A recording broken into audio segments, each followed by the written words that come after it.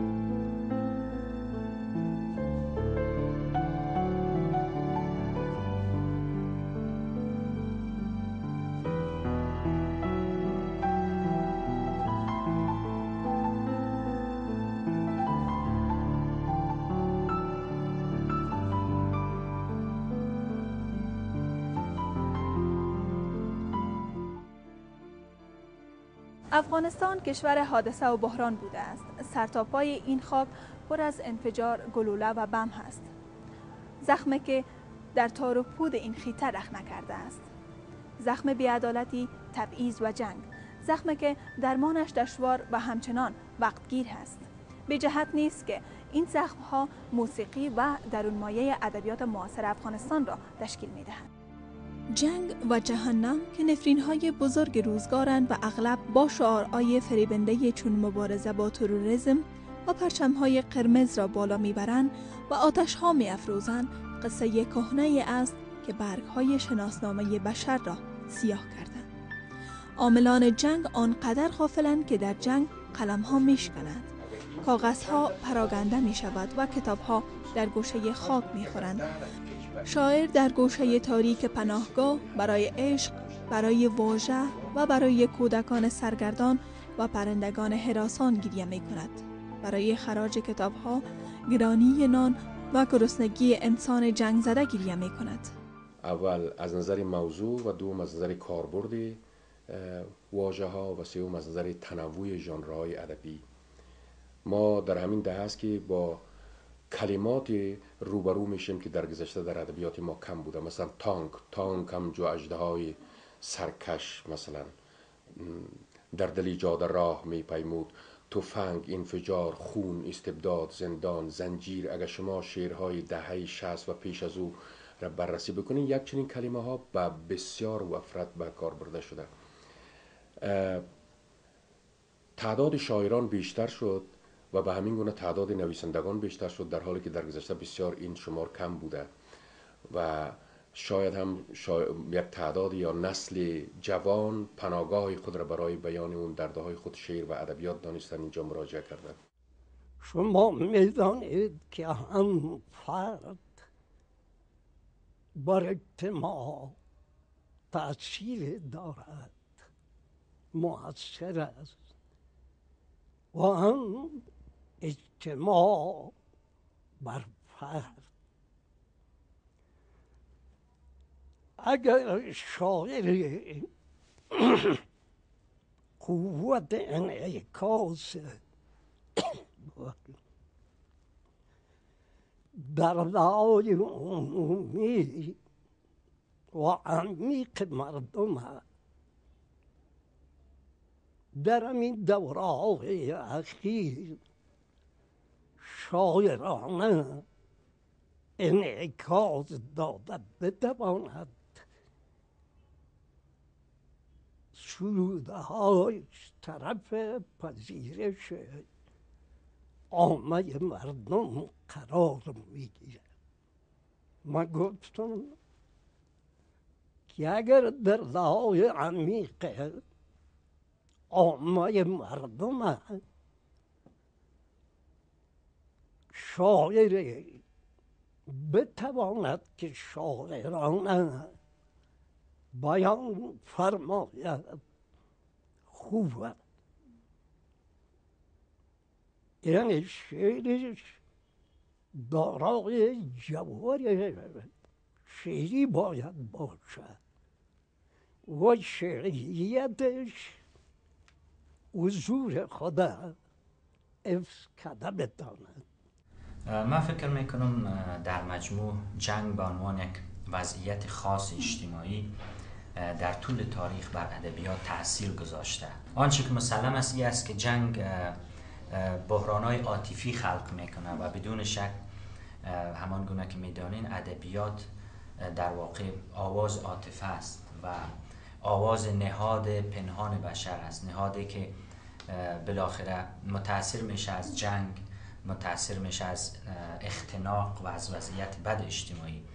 به طور مثال اگر شما در سطح جهان نگاهی به تاثیر جنگ بر ادبیات بکنین شما می‌بینین که مثلا ادبیات آلمانی پس از جنگ جهانی دوم به یک شکوفایی می‌رسه. به طور مثال کسان مثل هاینریش بول که برنده جایزه نوبل هست یا گانتر گراس یا به طور مثال اریش شاعر کسایی هستند که پس از جنگ در آلمان می نویسند و در واقع ادبیات آلمان به تعالی می رسانند وقتی ما از از ادبیات جنگ صحبت می‌کنیم و با کشورهای دیگه مقایسه می‌کنیم باید متوجه این موضوع باشیم. در افغانستان وضعیت خاص جنگ فرق می‌کرد تا کشورهای دیگه مثلا ما اگر بخوایم جامعه افغانستان و ادبیات افغانستان پس از جنگ با ادبیات آلمان در آن زمان مقایسه کنیم. و این نکته می‌رسیم که در ادبیات آلمان داستان ها شعرهایی که ما می‌خوانیم سراسر از قهرمان پرایی و یک نوع ما می‌تونیم غنامندی رو او ببینیم که افراد ستوده میشه به نوع یک روحیه هست یک مبارزه هست. اما در شیرهای امروز افغانستان وقتی ما می‌بینیم فقط یک سرخوردگی است در شیر جوانان ما.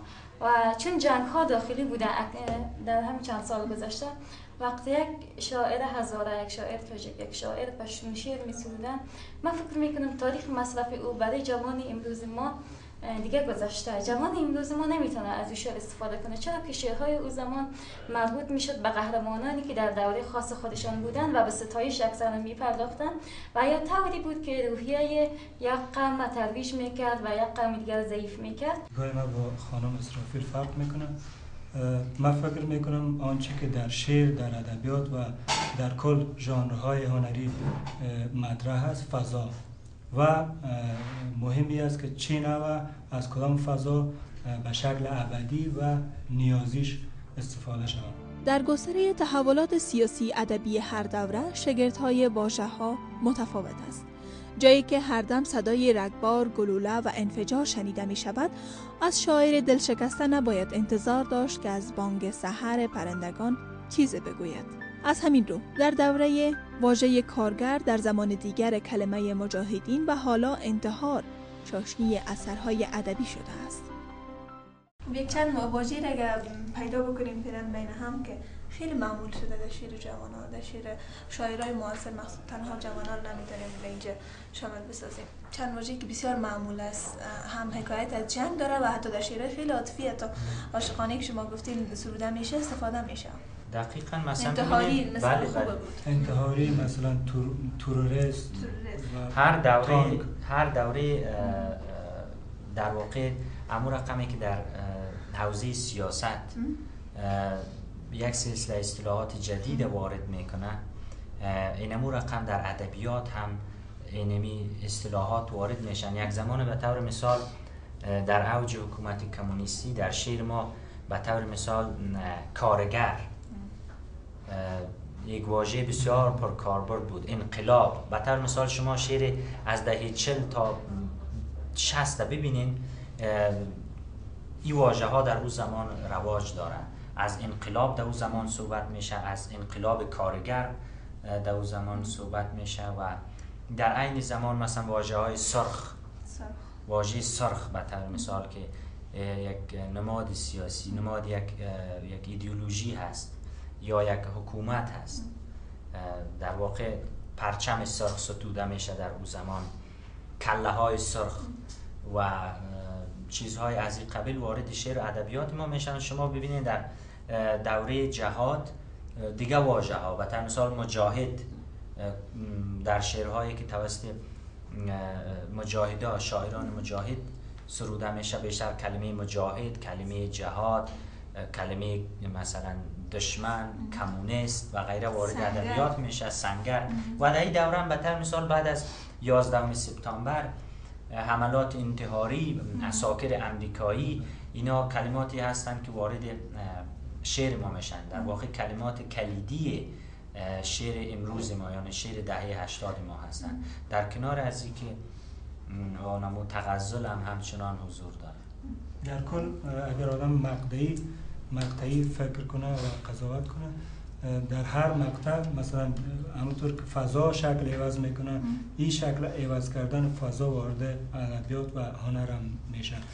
مثلا ما در وقت در حوجش کارهای آسی مثلا واجه های مثل رودخانه، رنگین کمان، بارش، مثلا گل سوری و رودخانه وارد شعر شده بود. اما در دهه 80 جای هیچ چیزا تبدیل به جاگزین از این واژه ها واژه های خیلی خشن و غیر شاعرانه مثل تان، تروریست و انتحاری و از این دست در ما اگر در شعر زنان می‌خوایم بپردازیم البته کلمات که مختص ادبیات زنان شاعر مثلا مثل زندان هست پستو هست تاریک خانه هست آتش هست. من خیلی دیدم مثلا منوی آتش زدن هست. شاعران خانم زیادتر استفاده برقه هست بله.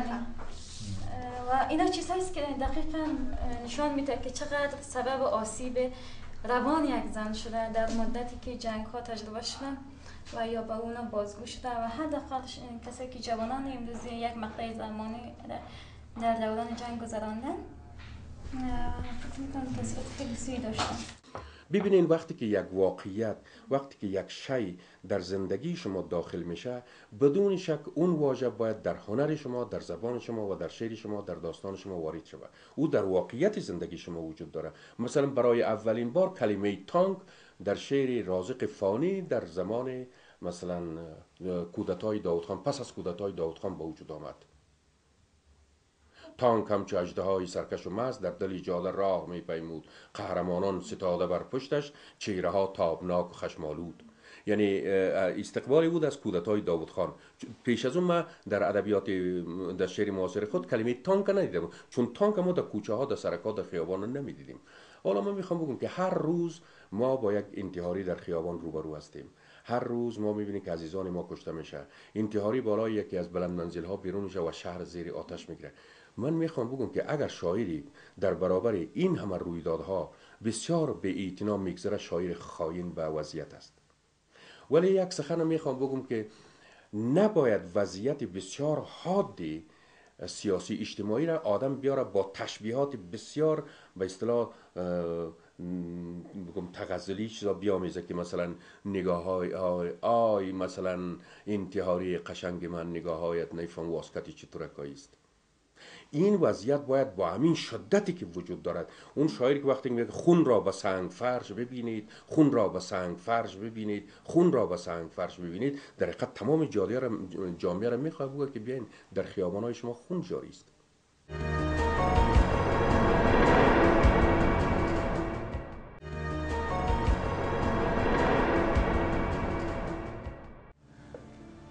انسان هایی که پشت دیوار سنگی و خشم از مادران مسترب به دنیا میآیند و در هوای پرنفرین و پربارود رشد می کنند زندگی خود را در تمام عمر بازی می نمایند. متن نمایشنامه بیرمق این حیات را هیچ کس و هیچ چیز و جز از ادبیات نمی‌تواند رقم بزند. حالا بحث برای همگان اینجا هست که آیا این تاثیرپذیری از جنگ در ادبیات بر ادبیات افزوده و یا برعکس از ارزش و اهمیت آن در ادبیات معاصر افغانستان کاسته است. مسئله بسیار زیاد مهمی است که در همین سال هاست که نخستین بار در افغانستان مسئله شعر مقاومت مطرح میشه. البته در رابطه با شعر مقاومت در افغانستان دیدگاه های همگون وجود نداره. بسیاری از دوستان اعتقاد بر این امر دارند که شعر مقاومت شعری هست که یک سرزمین مورد حجوم بیگانگان قرار می‌گیره و شعری که در برابر این مهاجمان سروده میشه شعر مقاومت است و مردم به طرف پایداری و امید به پیروزی. یعنی شعر پایداری یا شعر مقاومت شعر مایوسیت و شعر ندبه و زاری نیست بلکه شعری است که باید وضعیت تشریح و توضیح بکنه. وضعیت مردم و وضعیتی که وجود داره و وضعیت اون نیروی متجاوز یا استبداده.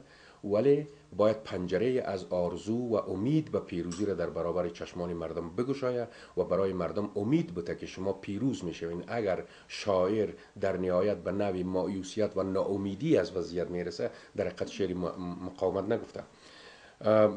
دوستان ما دی به همین عقیده هستند که پس از بیرون زدن نیروهای متجاوز در حقیقت دیگه شعر مقاومت پایان میابه ولی من فکر می‌کنم که شعر مقاومت یک نوعی از شعر بوده که در طول تاریخ زبان و ادبیات فارسی دری وجود داشته.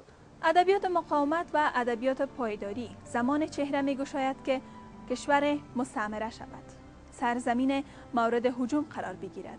شاعر و یا نویسنده جهت دفاع از آرمانهای ملی و همچنان برافروزی احساسات پاک میان مردم قلم برمیدارد و میگوشد تا حقایق سیاسی و تاریخی را به زبان کنایه و استعاره در آثارش بنماید. پس در افغانستان هم شما وقتی ببینید به طور مثال جهاد باعث با وجود آمدن شعرهای زیاد میشه. جنگای داخلی در افغانستان. نه تنها شعر که داستان نویسی افغانستان هم به تاثیر می‌سازن شما وقتی به داستانهای محمد حسین محمد یاسف سلطان زاده نگاه می‌کنین در واقع داستانهای اونا روایتی از جنگ است که در افغانستان شده جنگ های قومی جنگ های ذات البینی و حتی تجاوز روس ها به افغانستان. و امیر قمیر باستاب شده در شیرهای کازمی کازمی سید فضل الله قدسی استاد خلیل خلیلی پیشتر از اونا و سایر شاعران مقاومت می‌بینیم. ما می‌تونیم من نمی‌خوام نام ببرم از شاعر خاصی اما شاعره که خودم آشنایی دارم با اونا تماما وجود دارن. ما می‌تونیم بریم کتاباشون بخوانیم آثارشان که در همون مقطع زمانی بچه ها رسیده بخوانیم و ما می‌بینیم بیشتر سمت سوی سیاسی دارن به خاطر همین خودم به عنوان یک جوان حس می‌کنم یک در ادبیات ما در یک مقطع زمانی یک خلای بزرگی وجود داره که ما امروز اگر می‌خوایم به گذشته دوباره رجعت کنیم متاسفانه او امکانش نیست و ادبیات دیروز ما بر ما چیزی را نداره. البته منظوریم دمی دو دهه اخیر است. اگر ما در دو دهه بیشتر بریم شاعران بسیاری هستن که قابل ستایش می باشم من نمیفهم چقدر دوستا با ما موافق است اما نظر ما همیست. در افغانستان هم به مثال ببینین از یک طرف من می‌خوام یک حرفی از دکتر حامد اینجا ذکر کنم که او میگه که شاعرایی بودن که خودشان در داخل حتی در درون رژیم کمونیستی وظیفه داشتن اما شعرشان سنگر و سنگر می جنگید و طور مثال شما ببینین شعرهای استاد واصف باختری. و طور مثال شعرهای شبگیر پولادیان شعرهای قهار آسی اینا شعرهای پرتو نادری شعرهای سمی حامد. اکثر اینا کسایی هستن که یا عضو به طور مثال اتحادیه نویسندگان افغانستان هستن که یک اتحادیه دولتی هست اما شعر از اینا شعر بر علیه دولت. بر علیه دولت وقت یعنی من فکر می‌کنم که یک هنوز هم البته درباره شعر مقاومت بحث‌های زیادی وجود داره. بعضیا میگن که شعری که در واقع شاعری که خودش جیرخار دولت است و در عین زمان شعر مقاومت میگه به هیچ وجه نمی‌تونه.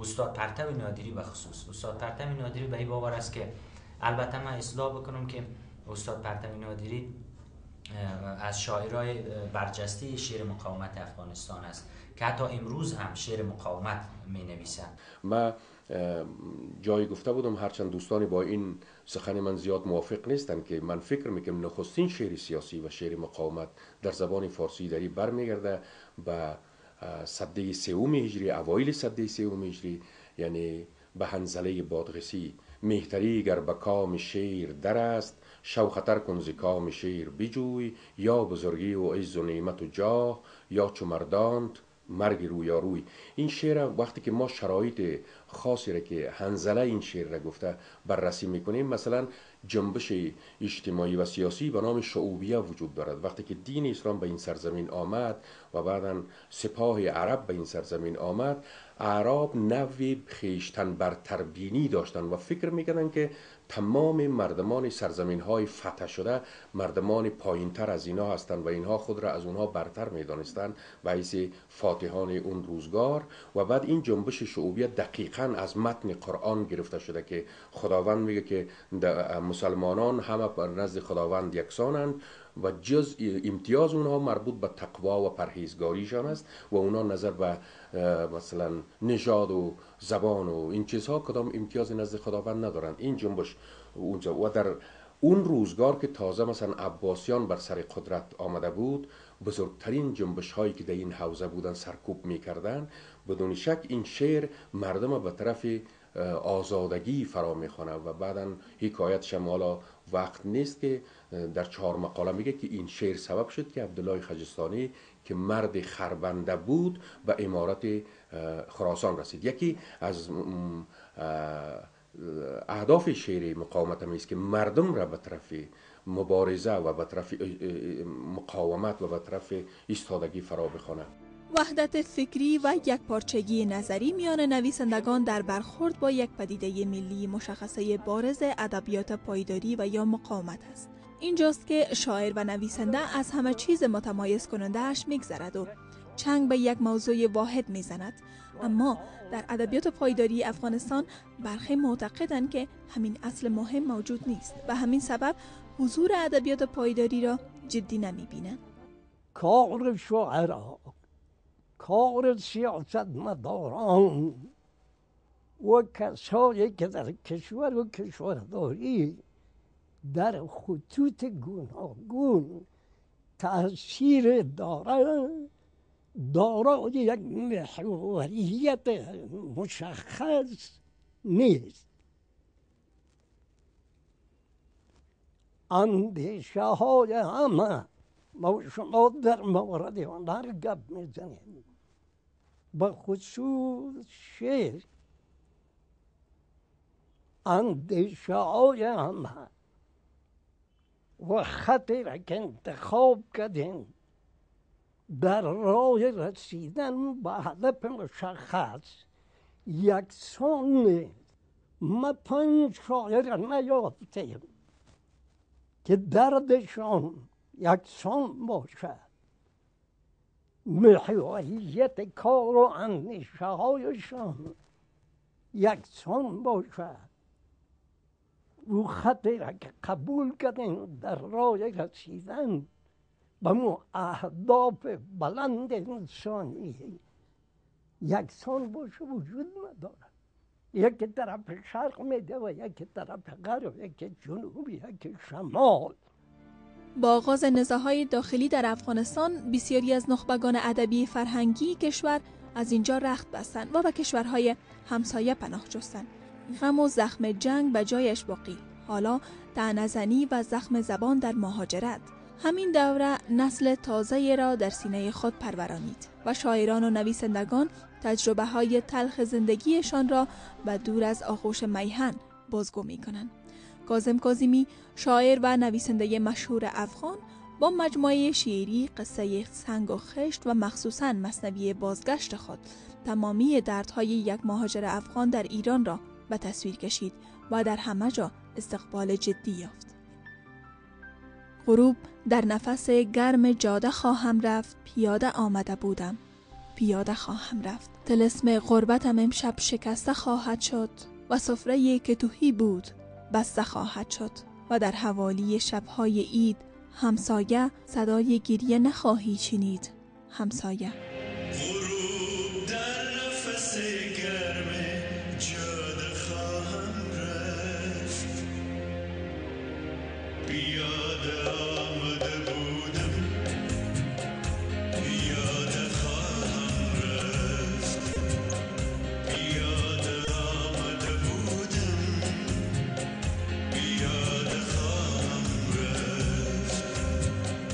ببینین بدون شک تاثیر جنگ هم تاثیرات منفی داره ولی تاثیرات مثبتی هم داره. گاهی حالا اگر درباره مفهوم جنگ بیایم جنگ گاهی این گونه ایجاد میشه که جریان سیاست به یک بنبسته های روبرو میشه و جنگ میان بنبسته ها از میان بر میداره و بعدا باز این جنگ باید به صلح بیانجامه.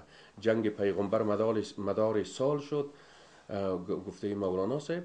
من می‌خوام بگم که سی سال گذشتن ادبیات ما بسیار از نظر موضوع متنوع شده بسیار گسترده شده.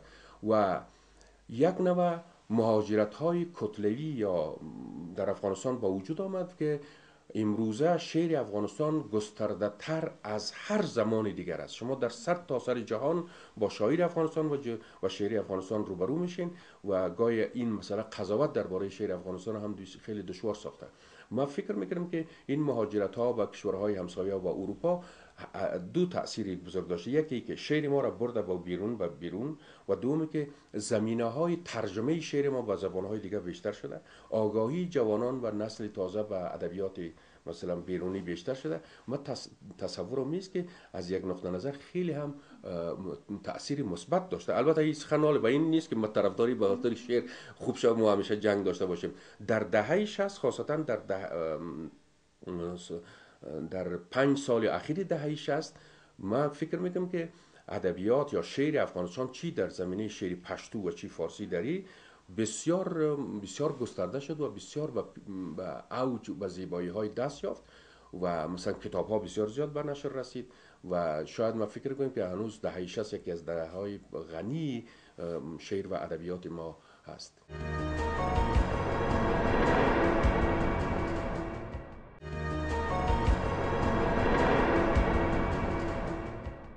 عتیق رحیمی داستان نویس افغان مقیم فرانسه با آثار چون خاک و خاکستر و سنگ صبور به اوج شهرت رسید.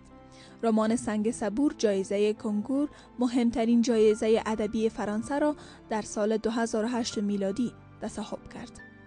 در سنگ صبور داستان زن را حکایت می کنند که با شوهرش برای نخستین بار صادقانه به سخن می نشیند و از آرزوها و واقعیتهای تلخ زندگیش شکوه دارد. اما شوهرش بر اثر اصابت گلوله دچار زایعه مغزی می شود و زن حالا نمی‌داند که حرفهای او را می شنود یا خیر. هیچ نشانی از حس و زندگی در مرد نیست. مانند یک سنگ سنگ که سنگ صبور زن می شود سنگ صبور که بار سنگین راز می تواند آن را منفجر کند. عتیق رحیمی بر اساس رمان خاک و خاکستر خود فیلم نیز به همین نام ساخته است. که فیلمنامه این فیلم را کامبوزیا پرتوی فیلمنامه نویس مطرح ایران نوشته است. این کتاب در سال 1382 جایزه ادبی یلدا را در ایران به خود اختصاص داد. بود نبود یک گورستان بود بود نبود یک گورستان بود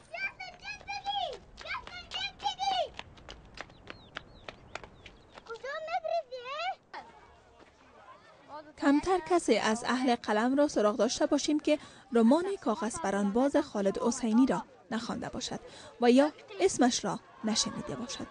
نویسنده این رمان خالد حسینی هست که هم اکنون ساکن امریکا می باشد. این رمان روایت پس دادن تاوان گناههایی هست که جبران آنها آسان نیست. در این رمان عشق و وفاداری مرده است و جنگ و زور حکم روا می باشد.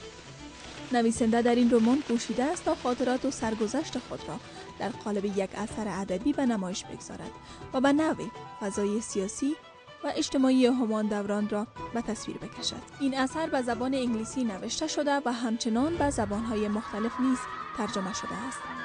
کاغذ باز پرفروشترین کتاب بازار امریکا بود و بدین سبب شهرت جهانی فراگیر یافت. همین عوامل سبب شد تا دانشجوی ادبیات را وادار کند و پایان نامه دانشگاه را به بررسی و نقد و داستانهای خالد حسینی بپردازد. موضوع پایان نامه ما در واقع در رابطه با رمان دو رمان خالد حسینی بود. زمانی که ما هنوز دانشجوی دوره لیسانس بودیم هر کس خب مکلف برای بود که پایان نامه بنویسه بعد من فکر کردم که در مورد چی موضوع پایان نامه بنویسم بعد از تعمق زیاد فکر کردم که باید در مورد رمان بنویسم و ببینم که مسائل اجتماعی جنگ رویدادهای سالهای گذشته و سالهای نابسامانی افغانستان در رمان چگونه باستاب یافته. در نتیجه موضوعی را که انتخاب کردم بررسی مقایسی دو رمان خالد حسینی بود که از یک طرف بررسی می‌کنه که رویدادهای تاریخی معاصر افغانستان جنگ های داخلی و جنگ های و مقاومت های مردم افغانستان در مقابل نیروهای اشغالگر شوروی چگونه در آثار ادبی باستا بیفته. از سوی دیگه مسائل تکنیکی مسائل محتوایی و درونمایی دو اثر را که از یک نویسنده است با هم مقایسه می‌کنه و تحول و سیر فکری نویسنده را بر اساس و صورت زمانوار مورد بررسی قرار میده. برخی از منتقدین معتقدند که آثار خالد حسینی و حتیق رحیمی آثار محض افغانی و یا پارسی دری نیست چون به زمانهای خارجی نگاشته شده است. کتابایی هم که در زمینه جنگ افغانستان و بحران افغانستان هم در بیرون از افغانستان و به زبانهای غیر از فارسی نوشته شده خب اونا را باید از این فهرست بکشیم چون به باورم حداقل اونا جز ادبیات افغانستان شمرده نمیشه. اما برخی از منتقدین شهکارهای این نویسندگان را برای غنامندی ادبیات معاصر افغانستان و معرفی بهتر این کشور به جهانیان ارزنده می‌دانند. دکتر سمیه حامد بیشتر به سراحت لحجه و سیاسی بودن شعرش و نیز استعداد خارق‌العاده وی در آهنگسازی مشهور است. در اون مایه اشعار سمیه حامد انتقاد از فضای موجود سیاسی، اجتماعی و فرهنگی هست که با لحن تند و سری و توأم با چم و خمهای ادبی زیبا می پردازد. از ده مزنگ از پل چرخی صدا رسد. فرزند من تویی که چنینی ندا رسد. فرزند من تویی که چنینی همین تویی که از سر تو خم شده تا پیش پا رسد. از ده مزنگ از پل چرخی صدا رسد. فرزند من تویی که چنینی همین تویی که از حرف تو تنین صدای گدا رسد از ده مزنگ از پل چرخی صدا رسد. مرده ایم سرخ تا که شما زندگی کنید. مرده ایم سرخ تا که شما زندگی کنید. خاموش شده ایم تا که صدای شما رسد از ده مزنگ از پل چرخی صدا رسد. در خواب خون تو توف تاریخ می شود. در خواب خون تو توف تاریخ می شود. برخیز که از رگان تو فردا فرا رسد. از ده مزنگ از پل چرخی صدا رسد.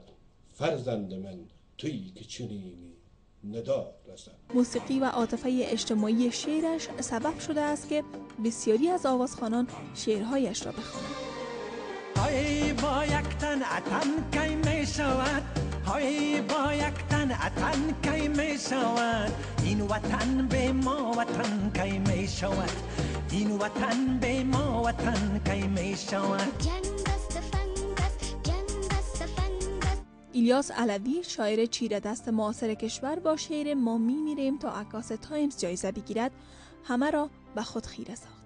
در این شعر آن پیچ های زبانی، بیانی و معنایی که در شعر مدرن و جدید چندان جایگاه ندارد نیست. و آقای الیاس علوی به درستی به این مهم رسیده است و در بسیاری از سطور شعرهایش می توانیم این عینیت را به وضوع ببینیم. تمامی آثاری که در این اواخر مطرح گردیدن و یا هم جایزه های را از آن خود کردن بیشتر با آن آثار رب می گیرد که حکایت از جنگ و نابسامانی های کشور دارد. امان پایامک از جمله شاعران و نویسندگان افغان هست که به گفته خودش جنگ تا حد زیاد تاثیر گذاشته روی شیرهایش ما از که همیشه خواستم که با فضایی که در روز زندگی می‌کنم ارتباط برقرار کنم و این ارتباط شامل شعر خود بسازم به خاطر فضایی که ما در روز زندگی کردیم همیشه فضایی بوده که خواسته و ناخواسته از جنگ جنگ در اون نقش داشته مثلا ما وقتی که صبح از خواب بلند میشیم تا وقتی که شب میخوابیم با جنگ و حداقل با فضای جنگ و حرف جنگ رو در رو هستیم. به خاطر ما یکی از درشترین نشانه هایی که در شعرم خودم حس می‌کنم نشانه جنگ بوده. او می‌گوید واژه های مخصوص جنگ وارد شعرهای او گردیده است. یکی از روزهایی که شاهد یکی از حمله های انتحاری بودم در کابل و بیرون که برآمدم همزمان ما با سربازهای آیساف و اینا رو در رو شدم. وجه خواسته و ناخواسته یک شعر آمد و نوشتم که سیم های خاردار پیچک شدند. سیم های خاردار گل دادند. تانگ ها به ماه اصل می روند و بیگمان این موسیقه های پرچال هم کوچکشی خواهند کرد. از پرچال ها به میله های تانگ این ضرب ها یک نواخت گلوله هم به گلوی رباب برخواهند گشت. باز در آخر نوشتم در آخر شعر نوشتم که این نامه عاشقانه سرباز است که سرش را باخته است. باز خواستم که من فکر کردم که به خود کمی دروغ گفتیم. و بعد از او اضافه کردم در انجام و پایان شعر با پوزش که نه این سمفونی سرگردان گمی بود در متن بی پایان یک گورستان یکی از کتاب های امان پویامک به نام پریدن پلنگ روی شاخهای گوزن جایزه مطبوعات و خبرنگاران ایران را نیز به دست آورده است. هنرمندان و نویسندگان در هر کجای تاریخ که استاد باشند در گستره ادبیات و فرهنگ نباید از زنده ساختن خاطرات تلخ جنگ غافل بمانند. از همین رو هست که می‌گویند در جنگ مفهوم به نام پیروزی وجود ندارد و اگر فتح هم باشد به اندازه شکست مصیبت بار هست. برنامه این هفته هفت رنگ را با این کلام به پایان می‌بریم.